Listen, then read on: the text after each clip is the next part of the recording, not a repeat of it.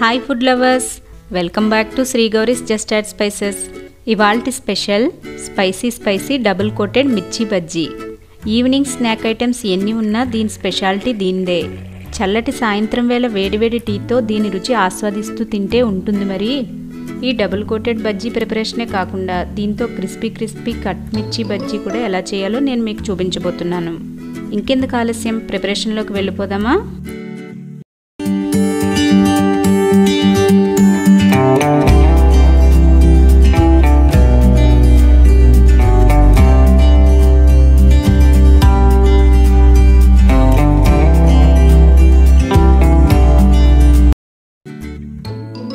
బజ్జీ చేయడానికి ఫస్ట్ మనం batter prepare చేసుకుందాం.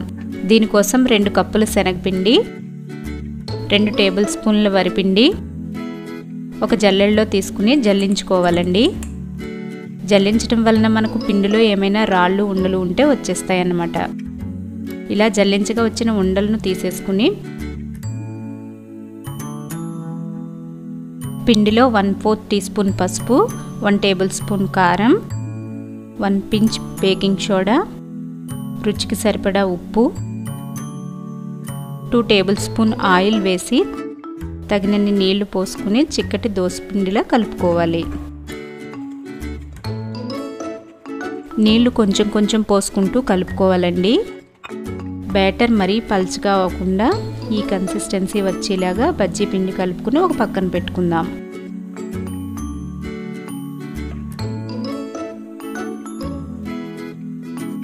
మిర్చిలో స్టఫింగ్ కోసం వన్ టేబుల్ స్పూన్ వాము వన్ టీ స్పూన్ ఉప్పు తీసుకుని మిక్స్ చేసుకుని పక్కన పెట్టుకుందాం. వామ్ వాడటం వలన బజ్జీలు కారంగా ఉండవండి ఇంకా డైజెషన్ కూడా బాగుంటుంది. ఇప్పుడు బజ్జీ కోసం మిర్చిని రెడీ చేసుకుందాము. ఇలాంటి బజ్జీ మిర్చిని తీసుకుని వాష్ చేసి క్లాత్తో శుభ్రంగా తుడిచేయండి.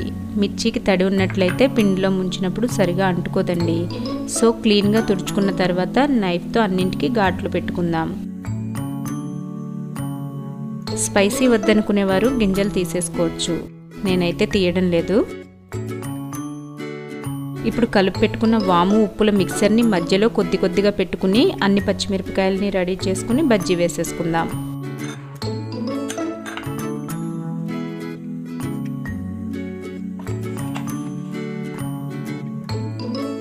డీప్ ఫ్రైకి సరిపడా ఆయిల్ పెట్టుకుని వేడెక్కిన తర్వాత స్టఫ్ చేసి పెట్టుకున్న మిర్చి తీసుకుని ఇలా మొత్తం అంటుకునేలా పిండిలో ఉంచి వేడివేడి నూనెలో వదలండి. బజ్జీని వేపేటప్పుడు ఫ్లేమ్ని మీడియంకి అడ్జస్ట్ చేసుకోవాలండి. లేకపోతే పైన పిండి వేగిపోయి లోపల మిర్చి వేగదు. ఇలా పైకి కిందికి తిప్పుకుంటూ కొంచెం వేగిన తర్వాత ఒక ప్లేట్లోకి తీసేసుకుందాం.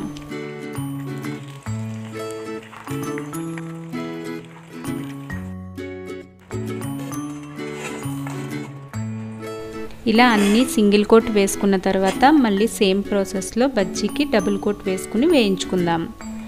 డబుల్ కోట్ వల్ల మిర్చికున్న స్పైసీనెస్ తగ్గి బజ్జీ టేస్ట్ కూడా చాలా బాగుంటుందండి. ఇలా అన్నీ వేగిన తర్వాత ప్లేట్లోకి తీసేసుకుందాం.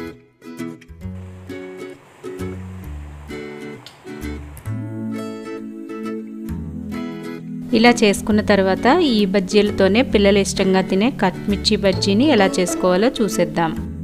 బజ్జీని ముక్కలుగా కోసుకుని క్రిస్పీ అయ్యేంత వరకు ఆయిల్లో డీప్ ఫ్రై చేద్దాం.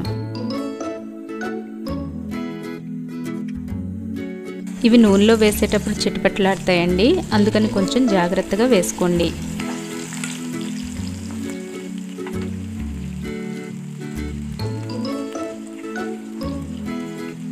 క్రిస్పీగా వేగిన తర్వాత వీటిని కూడా ప్లేట్లోకి తీసేసుకుందాం.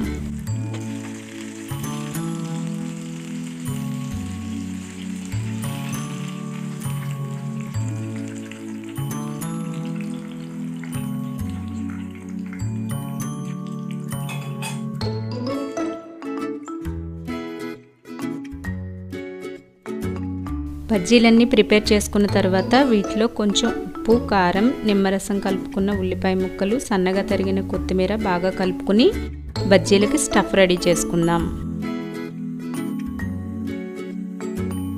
ఇప్పుడు రెడీ చేసుకున్న బజ్జీలకి ఘాట్లు పెట్టుకుని కలిపి పెట్టుకున్న ఉల్లిపాయ ముక్కల్ని స్టఫ్ చేసుకుని కొంచెం నిమ్మరసం పిండుకుందాం.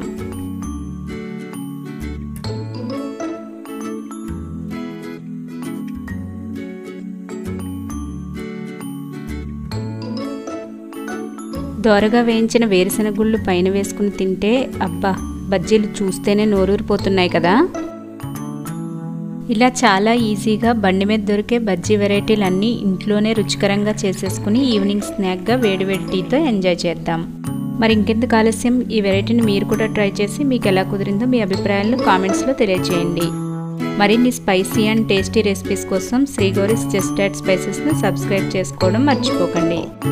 మరిన్ని అప్డేట్స్ కోసం బెల్ ఐకాన్ ప్రెస్ చేయండి. Thanks for watching